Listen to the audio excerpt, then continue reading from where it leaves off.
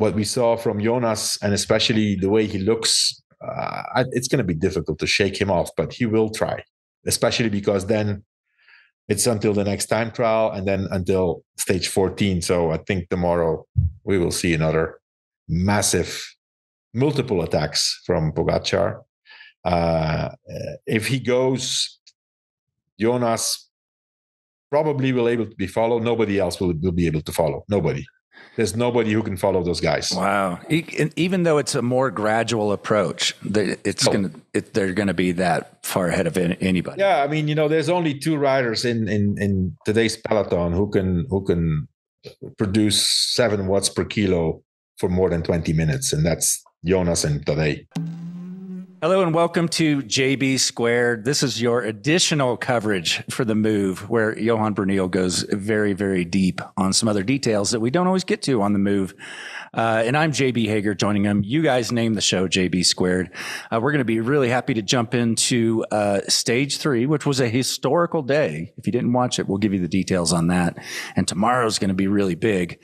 Uh, but first, thank you to our title sponsor, JB Squared, for this tour, and that is Ketone IQ we're all on the ketones and it's driving us through, you know, putting out four shows a day. It keeps your energy going. Trust me. Uh, if you want to give it a try, I re- highly recommend uh, doing a subscription. Try it for three to six months and you'll feel a difference physically, mentally, and much, much more. Uh, 30% off your first subscription order in a free six pack when you use the link ketone.com slash the move. All right, first, Johan, let's jump into why it was a historical day. It almost feels a little bit like deja vu because we had this same conversation when uh, Biniam, Biniam Girmay won a stage at the Giro. That was a historical day. When he won Gent Wevelgem, that was a historical day. And Tour de France, the big Mac Daddy of them all, if uh, which is, I know you would say that, another historical day. Yes, JB, it was a historical day today. Um, Biniam Girmay wins the stage in the Tour de France, his first ever Tour de France stage win. Already won a stage in the Giro in the past, won Gent Wevelgem, as you said. But you know, it's nice to see him back uh, after last year, at least struggling quite a bit to get back to his usual level that we we, we know him from. He had a few crashes in the Spring Classics, uh, and so um, to see him back and but man what a what a surprise victory. Uh, this was a real bunch sprint although you know there were crashes and some of the sprinters mainly jasper philipsen was not there but a lot of others were there. De Lie was there gaviria was there. Um, what's his name? Um, pedersen, pedersen was there. Uh, the, what's the guy from from uh, the, the, Dutch champion. Uh, Groenewegen, Groenewegen was there. um, so you know a lot of top sprinters, and and considering Girmay is not really a pure sprinter. Like for example, I mean he was not in any of the top three predictions. Uh, he, he usually he usually does well with kind of an uphill punchy finish. He does, he does, and also he does well when it's chaos. And it was yeah. chaos today because there was not, you know, the strong dominant lead out train of Alpecin that everybody was counting on. Mm-hmm. As a matter of fact, if you look back uh, in the last kilometer, uh, his team, um, Intermarché, uh, was leading it out. They had the three first riders in the last corner, but not Girmay. Girmay was like in 10th or 12th position, and they were leading it out for their sprinter of the day, who was Gerben Thijssen, the, the, the Belgian guy. They were way too early yeah, I, you could see them looking back. They were yeah. trying trying to figure out. They they yeah, felt, they were way too felt, early, but Girmay was not part of that train, and he right. was kind of finding the wheels. And all of a sudden, it kind of slows down a bit. He comes on the side, gets almost closed in, but finds a way. And and you know he has this incredible acceleration. Uh, to me, it's it's actually quite surprising to see. I mean, uh, I've already studied this guy. I mean, he does not look like a sprinter he he's not massive. He doesn't have huge muscular legs, mm-hmm. but yet he has this punch, this acceleration that is, is so unique. Uh, and to see him win this stage against uh, Gaviria, against Lie, against Pedersen, uh, I mean that's quite quite the sprint victory. And then on top of that, you know, being the first black African uh, rider to to win a stage in the Tour de France. It's, it's historic. Uh, he's not the first African rider. Uh, I think there's three or four more, but the first African cyclist to win a stage in the Tour de France was a, a guy from Algeria called uh, Marcel Molines in 1950. Mm. Quite a bit, quite a while ago. Uh, but you know, I mean, it, it, doesn't matter. You know, it's a huge, huge win for Africa. The whole continent is behind him, and you know, he already was a hero in his country. But this will like magnify. I mean, you you can see always there's a big Eritrean community in Europe. I'm always surprised to see this like a lot of Eritrean people at the mm-hmm. races. But imagine what this is going to be in his home country. This is going to be crazy. Yeah, I think this is important to revisit because w- we did talk about cycling in Eritrea, but that was a couple years ago. We yeah. have a lot of new listeners. I think it's worth revisiting. The cycling scene there is is rabid. They're going crazy, and I think yeah. you said that Ineos has a development program there. They're they're expecting everyone's expecting more and more and more talent to come out of yeah. that yeah. part of the yeah, country. You know, it's it's it, there's been already quite a few Eritrean riders in the tour.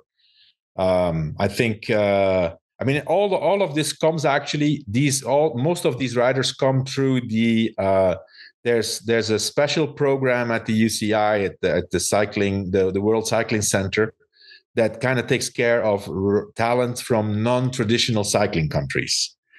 And so there was there was a time and I, th- I don't know if they still have it but you know the late uh, Hein Verbruggen who was UCI president many years ago started this initiative to to to set up uh, the UCI team composed of riders of non-traditional cycling mm. countries lots of Africans uh, and so uh, I remember one of the first riders was uh, from Eritrea. was called uh, was a rider called Daniel Teklehaimanot, who was uh, at the tour. Um, I even think, if I remember correctly, that at one of a few days he wore the polka dot jersey at the Tour de France, if I'm not mistaken.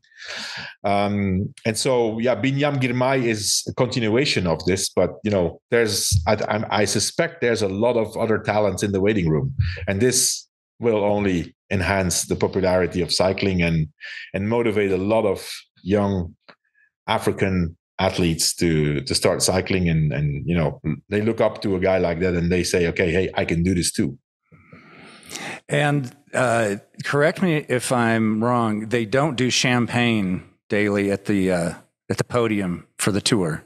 Because you know what, I have not, I have not paid attention to that, but I was kind of worried because we all know what happened with Biniam Girmay a few years ago at the Giro. He won the stage, amazing, super super celebration, and then on the podium he uncorked the the champagne bottle, and the the cork went into his eye, and he had to abandon the race the day after. So he had to go, had to, go to the hospital too. Yeah, yeah, yeah. Uh, I mean, even listen. I mean, I think even if they give champagne, there's I don't think there's any rule that can force you to open that bottle. And I'm pretty sure that he pays carefully attention now to to that whenever he uh, whenever he wins a race. But uh, yeah, I mean, what a day, you know. And also, if you saw the interview after the stage, he was so emotional. It was like it was. I mean, it means a lot. I mean, it means a lot for any mm-hmm. rider to win a stage at the tour, but for him, this is this is this is unbelievable. Actually, yeah, he's. Um, uh, I think he's probably the candidate to be the next president of Eritrea. he's a rock star. Yeah, that's for sure. And then maybe we'll see another win from him if he's on this good of form. Um, as you mentioned, he was up against a lot of the big, big sprinters, but that that was it went from eight wide teams across the entire road after those couple of those 90 degree turns and a couple of roundabouts to a very small bunch, which probably favors Girmay too. Yeah, yeah. I mean, obviously, we we have to you know acknowledge the fact that there were some crashes. Um, it it is, I mean, almost to be, to be expected. You know, it was a 230 kilometer stage. Nothing happened. Absolutely nothing. Nothing. Nothing. The guys that went in the front was just because basically because they wanted to be on TV. They know they knew they were not going anywhere and so you could really start to feel the buildup of the stress and the nerves in the last 15 kilometers. Um, it was a slow. I mean, uh, I mean slow. The, uh, you know, relatively slow. Uh, but you know, for professional cycling and for for the tour, in the wheels, it was an easy stage. Um, but then you get fresh riders at the finish, and everybody wants to fight for position. Nobody wants to lose time. So you have this nerves building up the last 15 kilometers. You know, if you look, if you see what it looks like and you know what it feels like to be there, it was war. All the, the teams with the GC guys bringing their guys to the front until you know usually it's 10 it's three kilometers. Today today was different. They did an experiment and the, the uci has announced that they're going to do some tests to change the three kilometer rule potentially to a five kilometer rule whenever there's a situation in the future uh, if they come into a big city and you know the, the it, you get into lots of corners and road furniture with more than 5k to go that they will in the future uh, uh, you know allow a five kilometer rule it but, will be but depending on, on the course it will be based on the situation Okay. But today there was a there was a test, not a very good test because they crashed, but I, it had nothing to do with the three or the five kilometer rule. It was just because it was so fast and everybody was still fresh. Were the uh, GC guys out of the way by the time that crash happened? W- well, um, for the most part, no. Yeah, for the most part, with the big crash was with two and a half yeah. kilometers to go. So it, whatever it was, if it was five k or three kilometer rule, the danger was gone. But you know, the three kilometer rule, JB. I mean, people start sometimes forget. You know, it it it's not a free pass. You know, it's it's only an issue when when there's a crash or a mechanical. Let's say if the, if you pass the three kilometers and there's a gap in the peloton mm-hmm. without any incident, you lose that time. Mm-hmm. It's only when mm-hmm. there's a crash and you are behind the crash. That's a good point. I think the general perception is that those G- GC guys can completely sit up and no, soft, soft pedal in. No, no, no, no, no, no, yeah. no never, never, never. Uh, when the, if there's a gap, there's a gap. Uh, it needs to be because of a mechanical or a crash. So, um, so yeah, I mean, there was this crash. Um, already before that with 6k to go. We had the first we had a mechanical for Mathieu van der Poel. So obviously that was a big blow for Philipsen. They they got a little bit you know derailed their their train. And then on top of that I think Philipsen was also in that crash with two and a half kilometers to go either in the crash or behind the crash mm-hmm. like some other riders. And is that what so, happened was Cavendish behind that as well? He was behind the crash yeah. yeah yeah, yeah. um so obviously a different completely different sprint and there was there was not many many riders left uh, in those last two turns which you know was obviously uh, great for the guys who were up there. I mean the only rider who was also up there with a, a teammate uh, uh who normally would not be there was was richard carapaz because he was one of the three riders that potentially could take over yellow from Tadej Pogacar because he was in the same time so uh, if he if they knew already on beforehand that Pogacar yesterday tried to give away the jersey, then today was an ideal opportunity because if you have four riders in the same time, then it's the uh, the accumulation of the placings. Uh, so if Pogacar, for example, would come in 50th or 60th, uh, and Carapaz was top 20, then he would take the jersey. Mm-hmm. Um, he still needed to be in front of Evenepoel and and Jonas, but both of those guys were also behind the crash. So the only guy who was the only guy of the four who was in the first group was uh, was Carapaz, and so you could clearly see that that was a goal of EF. They were, they kept him up there on purpose. He was fighting, fighting for position. Uh, because you know that uh, as a GC guy, once you get into that bubble in the last kilometer, then you can stay there mm-hmm. you can stay there uh, because the you know everybody else is already gone or you know they lost a lot of places. So that was a goal for them, and um, and yeah, I mean Carapaz got yellow, uh, which which I think for him and for the team is is an amazing performance. Uh, you know, Carapaz first time that he gets the yellow jersey in the Tour de France. He has now won uh, now worn the leader's jersey in uh, in all three Grand. Tours. Mm. You know, he won the Giro, he had the the red jersey in the Vuelta, and now he has the yellow jersey in, in the Tour. So that's quite an accomplishment, I would say. Um, also, first time in the history of EF, if I'm not mistaken, that they have the yellow jersey. So obviously, that was a huge goal for them. Uh, and on top of that, I think a great uh, situation for UAE because uh, they don't have the jersey tomorrow. And get um, some help. A, lot of help. Yeah. A lot of help. I mean, if if if they're to, if they're in tomorrow in the jersey, they have to pull the whole day, and and they will burn three guys that now, in theory, they can keep fresh for the lower slopes of of the Galibier tomorrow. We'll talk about that in a little bit, but. Okay um, yeah, I mean, you know, I think a great day for Carapaz and uh, quite quite the statement. Um, it looks to me like he's going to be doing a really good tour. He might find some extra motivation, you know, with this situation. This is this is huge. Something else that's really interesting uh, to me, and I'd love for you to expand on this.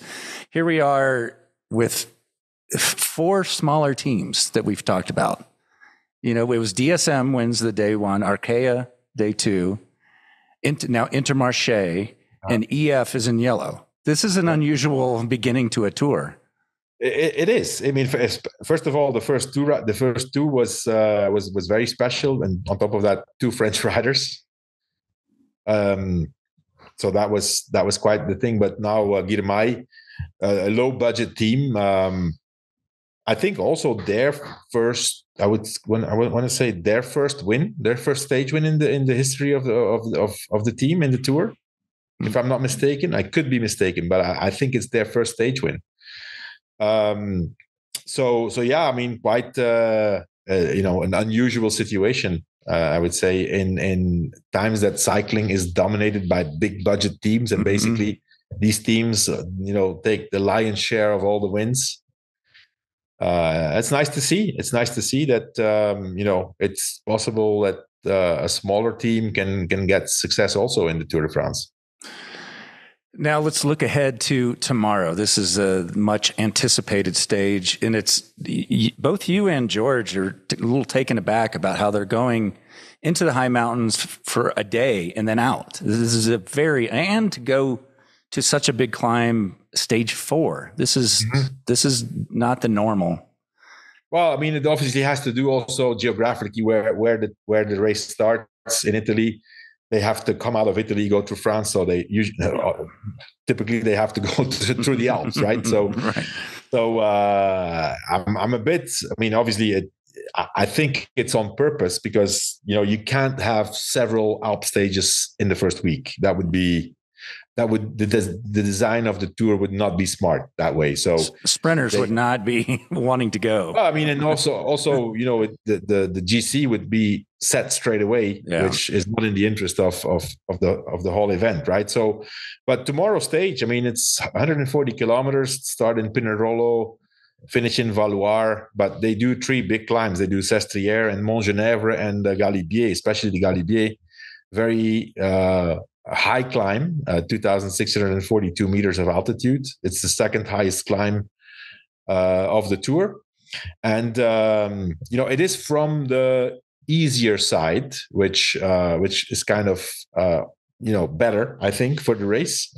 But still, the last eight kilometers are, uh, you know, seven and a half, eight percent. Why do you say it's better to, to keep things together a bit? Exactly. Yeah. It's not. Yeah. It's it, you know, it's it, people are going to lose time. It, it it won't be a decisive stage. Mm-hmm. You know, some guys are not going to be able to follow the, the the the main guys, but eh, I think it will stay within certain limits. And also, especially, it's not a mountaintop finish; it's still 19 kilometers downhill to Valloire, um, which for people who are watching cycling, uh, usually the downhill we will see tomorrow is the downhill that Tom Kitt Pidcock took so spectacularly when he won the stage to Alpe d'Huez a few years ago. Uh, he went over the top of the Galibier and then threw himself like a stone. Oh, there, yeah. There's a, a, famous clip of him passing on the outside through a turn. Yes. Yeah. Yeah. Yeah. So that's the downhill. Uh, yeah. Different difference is that back then the Galibier came early in the stage. Now it's at the end of the stage and will be decided between you know the main climbers. Um, so I think it's it's definitely GC day tomorrow, and um, as I said, you know for for UAE and even for Visma, uh, great great situation because I, I think EF will control the whole stage with the hope uh, and the confidence that Carapaz can uh, stay with these guys, or in in in the other case, lose a bit time and maybe make it back um, in the downhill and and hang on to yellow. That would be a huge objective for them, I think. So uh, I expect uh, big fireworks tomorrow from from mainly from Pogacar. Uh, I think he will have to try again. Uh, you know, he already tested, or the team tested Jonas Vingegaard on stage one.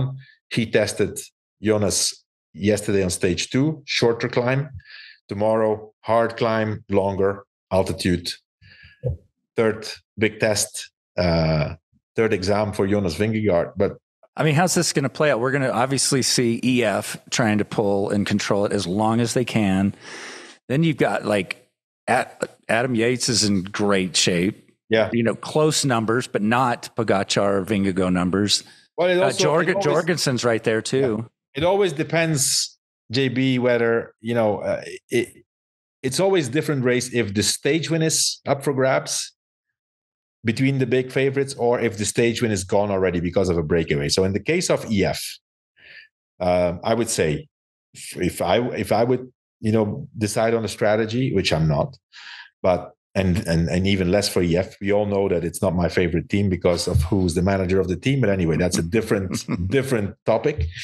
We will leave that out of the discussion here. We'll do a whole uh, separate podcast for that one. Uh, not even. I don't. I don't think. I don't think it's worth. You know. Anyways, uh, I think it would be in their interest that uh, the stage win is gone because of a breakaway, because that kind of demotivates mm. a bit the favorites, you know, because uh, there's no stage win. Um, so that would be my preferred tactic. Like let us let the group go, mm. uh, make sure that the the jersey keeps uh, stays within reach, but but not the stage win. Uh, but anyway, independently whether there's a stage win or not, Pogacar will attack. He will attack. It's uh, it's eight kilometers, seven and a half percent. So I would expect uh, probably an effort of twenty to twenty-five minutes uh, at altitude. Uh, it's a different type of effort than than what we've seen until now. So, mm-hmm. As I said, you know, going off what we saw from Jonas and especially the way he looks, uh, it's going to be difficult to shake him off, but he will try especially because then it's until the next time trial and then until stage 14. So I think tomorrow we will see another massive multiple attacks from Pogacar. Uh, if he goes, Jonas probably will able to be followed. Nobody else will, will be able to follow. Nobody. There's nobody who can follow those guys. Wow! Even though it's a more gradual approach, it's oh. gonna it, they're going to be that far ahead of anybody. Yeah, I mean, you know, there's only two riders in in in today's peloton who can who can produce seven watts per kilo for more than 20 minutes, and that's Jonas and Tadej. Everybody else is, you know, a little bit less, you know, 6.7, 6.8 uh, that's their maximum, and you know it's it's amazing, but it's not good enough to follow those guys. I'm really looking forward to outcomes too, uh, in you and Spencer to to figure this one out. But but because you you're going to probably have some wild cards for that breakaway. I'm guessing. Well, yeah, uh, you know, I mean, and, and also, you know, if you if you're in a breakaway, you need to be a good climber to win that stage. Mm-hmm. Otherwise, you know, I mean, it doesn't matter who's in there. I mean, if you can't climb, you still have to go over the eight kilometers on the Galibier, and you know it, it's considered the easy easy side, but it's hard. Yeah. Uh, one more quick thing. I, we don't want to go too long today. I have a couple questions for you, but we had talked a couple days ago about the the Visma uh, Lease a Bike Control Center. Mm-hmm. And then yesterday, I think you sent a note to everybody. It's like, up, oh, UCI did not permit it. They didn't ban it, well, it's not. It's not the UC. This time, it's not the UCI. It's ASO. ASO. But okay. it's it's it doesn't really matter. You know, that's it's always okay. We have the power, and you guys need to, you know, but do whatever we tell you to do. So, it is.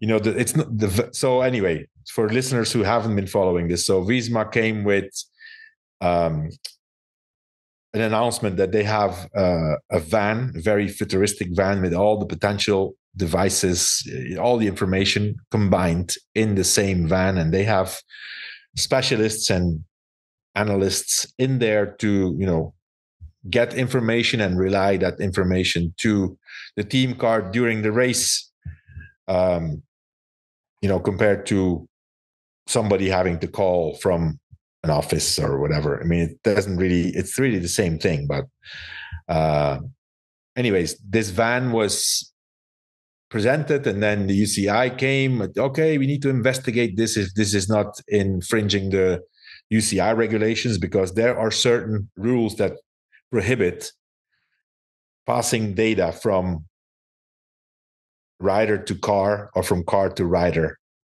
Uh, for example, you can't transmit the power output from a rider mm. to the car. That's real time data to the car. Real time data. Yeah. They can all, they can uh, look at it after the race all they exactly, want. Exactly. Interesting. Yeah. So so you know I mean that's not the purpose of this van anyway.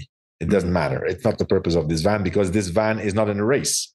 It's either at the hotel or you know, somewhere. It could be know? anywhere. It's no different exactly. than, a, it a group in a different country. It doesn't really matter. Uh, or it could know. be a, a, hotel room doing the same thing. Yeah, yeah, yeah. so anyway, so now uh, ASO has decided that uh, this van does not get a credential. Like you know, you, you have a lot of vehicles in the tour, and usually, so the you have two race vehicles, two race cars. Uh, these guys get a credential, then the bus, then the truck, and then a few support vans that will go from start to feed zones or you know the anyway this van does not get an ASO sticker because there's different you know possibilities. You can say, okay, because you didn't ask us, mm. you didn't come with your idea to us on beforehand, so now we don't like it. Uh, or you could say, oh, okay, you know, everybody needs to have access to the same possibilities. Uh, you know, they're all about okay, you know, this is a disadvantage for the smaller teams. I mean, I remember JB uh, long time ago. I don't remember how many years ago, but it's second, third, or fourth Tour de France we did with Postal. Um, we had this project of having a kitchen truck, um, and uh, so we had a cook who kind of had to always negotiate in the kitchens, and and you know at the hotels didn't like that, but we wanted that our cook cooked the riders' meals.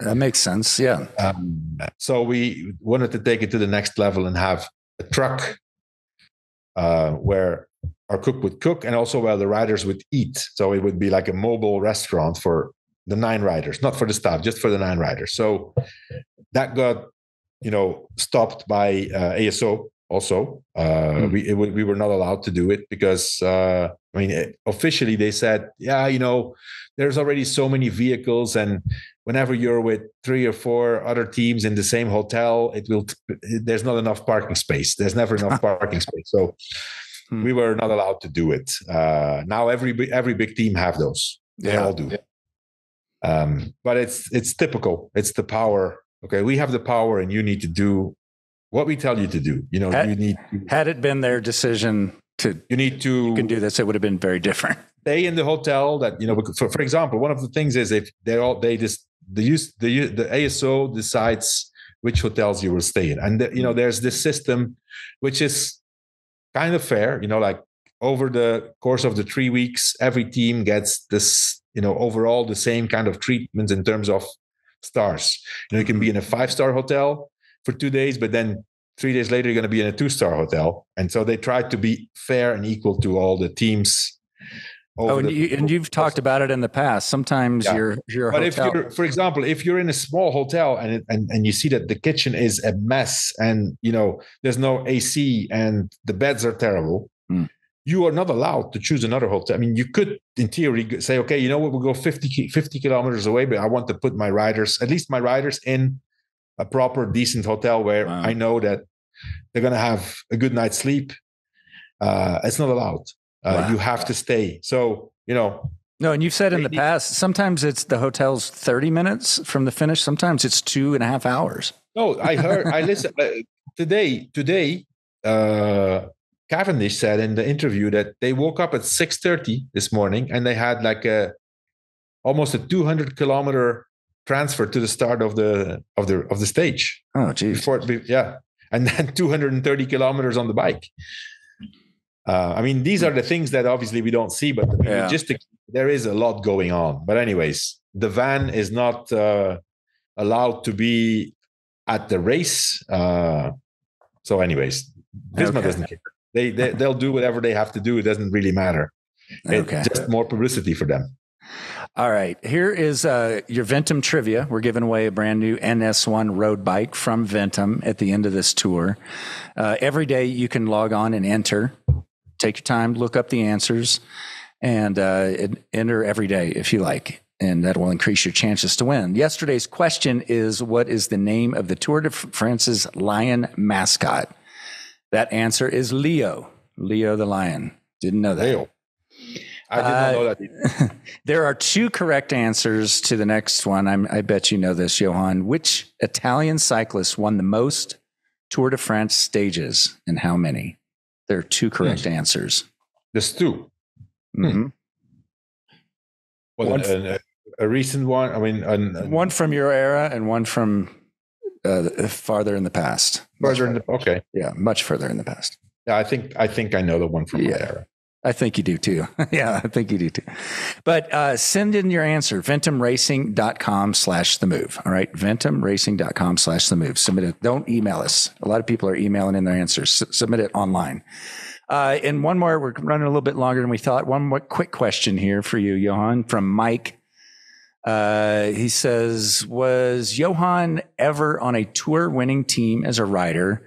And if not, was there a year when you were very close? Uh, mm-hmm. did he have good directors when he was a rider that he learned a lot from? That's Mike in Cottonwood, California. Mm-hmm. Um, the answer is I was never on a team that won the tour as a cyclist.